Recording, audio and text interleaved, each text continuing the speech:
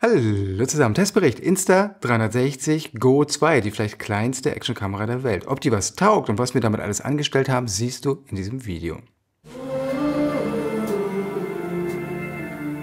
Home to the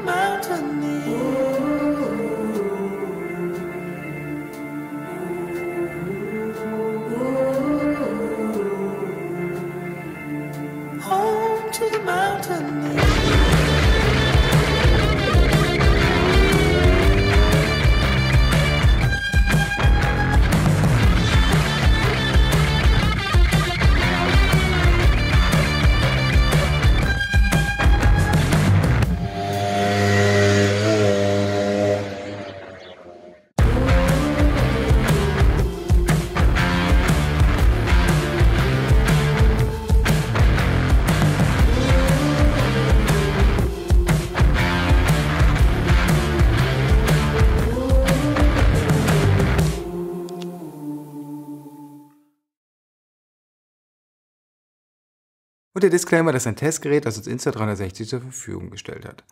Reden wir ganz kurz über das Gerät selbst. Es wiegt nur 27 Gramm, es ist voll funktionsfähig ohne Zubehör. Ich kann durch Druck verschiedene Codes da reingeben und die Kamera tatsächlich bedienen. Ich kann sie auch über das Handy fernsteuern oder über eine dazugehörige äh, Gehäuse, wo ich nochmal zwei Buttons habe, ein kleines Mini-Display und hier in diesem Gehäuse wird das Ding auch aufgeladen. Die Rückseite ist magnetisch und es gibt dazu einen kleinen Halsband im Grunde, das ich jetzt hier unter dem T-Shirt anhabe dadurch kann man sich das so umhängen. Jeder Reiseblogger oder Selfie-Blogger, dem fällt sicherlich was ein, was man damit machen kann. Was wir damit gemacht haben, zeige ich in einem Ausschnitt aus einem Video von der Nordsee, das dann die nächsten Tage kommt.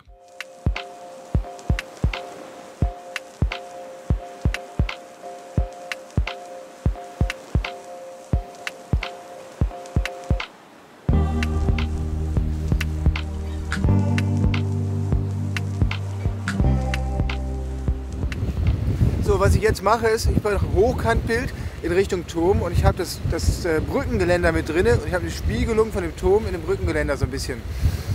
Was jetzt das i-Tüpfelchen wäre, wenn ich es hinkriege, dass sich der Turm auch in dem Wasser spiegelt. Mit den Wellen geht das nicht, weil ich es jetzt nicht sehe. Ich probiere aber gerade mal aus, was passiert bei einer Langzeitbelichtung, 30 Sekunden. Ob ich dann eine kleine Spiegelung hinkriege oder nicht, da würde ich sogar noch länger belichten wollen.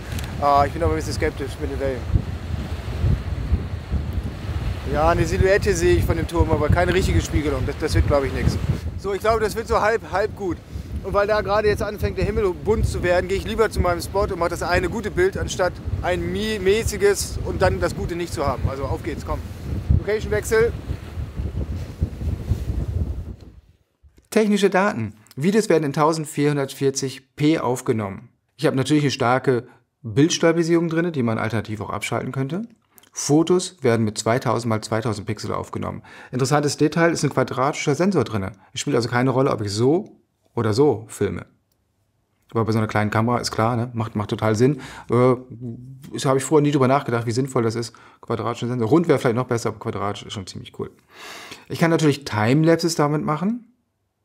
Ich kann Hyperlapses machen mit sechsfacher Geschwindigkeit. Zeitlupe mit 120p, das heißt vierfache Verlangsamung für epische Shots. Was man damit alles machen kann, beziehungsweise wie wir den Trailer am Anfang gemacht haben mit dem Motorrad, das erklärte Sebastian jetzt. Die Fahrszenen, also wie ich auf dem Motorrad sitze und fahre, habe ich mit dem Zugehör hier aufgenommen. Das ist im Endeffekt ein kleiner Clip, den konnte ich mir ans Visier unten machen. Dadurch hatte ich einen schönen Blickwinkel von, von der Fahrt.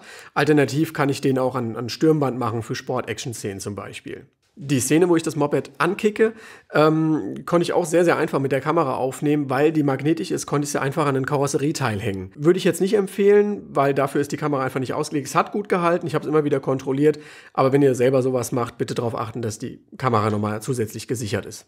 Die Schlussszene, wo ich hinten am See sitze, dafür habe ich dann das Case genommen, habe die Kamera da einfach reingehangen und als kleines Stativ eben benutzt. Habe ich auf eine Anhöhe hinter mir gestellt somit war das wunderbar. Alternativ hätte ich auch ein Stativ mitnehmen können. Hier unten kann ich auch mit einer ganz normalen Stativschraube an jedes gängige Stativ ran.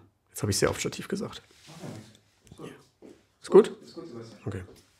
Natürlich kann man das für Videoblogs verwenden, also so Selfie-Style. Äh, wie das aussieht und vor allem auch, wie sich das anhört mit dem eingebauten Mikrofon, zeige ich. Videobloggen mit der Insta Go 2. Und zwar sitze ich jetzt bei uns im Bus, die Standheizung läuft, wir wärmen uns ein bisschen auf äh, bevor gleich die Sonne untergeht und wieder rausgehen. Wir sitzen hier an der Nordsee am Leuchtturm Ober-Eversand Und äh, ja, natürlich praktisch. Das kleine Ding in der Hosentasche ziehen, immer griffbereit. Äh, man weiß, Weitwinkel, ich bin immer im Bild. Gute Sache, glaube ich. So, Fazit. Die Kamera macht Spaß, weil sie so klein immer dabei und so einfach zu bedienen ist. Ich kann sie mit dem Handy verbinden, ich kann direkt hier mit diesem Gehäuse arbeiten oder wenn ich nur das Ding dabei habe, halt nur mit dem hier. Äh, ein kleiner Spaß-Gag zeige ich nochmal.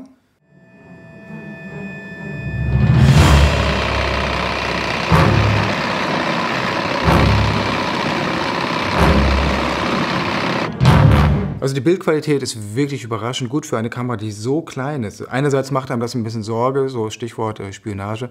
Andererseits macht es halt schon auch echt Spaß. Ähm, das Akku ist sicherlich ein kleiner Flaschenhals, der hier drin ist. Hier ist halt ein ganz kleiner Akku drin, der hält ungefähr eine halbe Stunde, was, wenn man ein bisschen plant, völlig ausreichend ist. Und es kann halt in dem Case aufgeladen werden. Da ist also nochmal ein Akku drin, äh, genauso wie die Earpods ja auch. Die haben einen kleinen Akku und in dem Case kann man es direkt wieder aufladen. Soundqualität ist auch überraschend gut für so ein kleines Gerät, solange man keinen Wind hat. Also draußen bei Wind an der Nordsee, das ging natürlich nicht. Das liegt auch in der Natur der Sache. Da braucht man halt so einen Windschutz. Äh, da haben wir das externe Aufnahmegerät genommen. Aber für drinnen völlig ausreichend für viele Situationen. Also gerade für Videoblogger würde ich denken, sehr charmante Lösung.